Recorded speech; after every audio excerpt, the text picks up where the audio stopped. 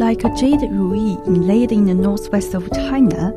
Gansu is one of the birthlands of ancient civilization in the gold area of the ancient Silk Road. There are rolling plateaus and boundless gobi deserts,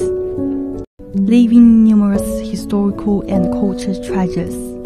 Today we are here in the Long River Avenue, the Yellow River Culture Works Art Exhibition. Let's listen to the story about the Yellow River.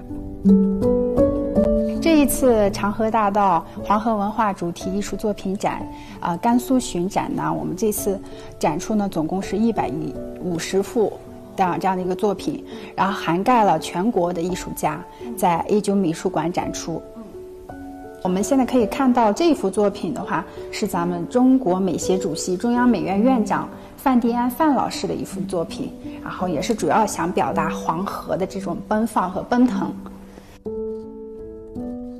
这次的巡展，甘肃站呢，咱们有甘肃本土的艺术家，总共展出了二十余幅作品。啊，我们可以看到这一幅作品就是咱们甘肃本土艺术家，啊，我们甘肃画院的院长王万成老师的王院长的这幅作品，也是在咱们呃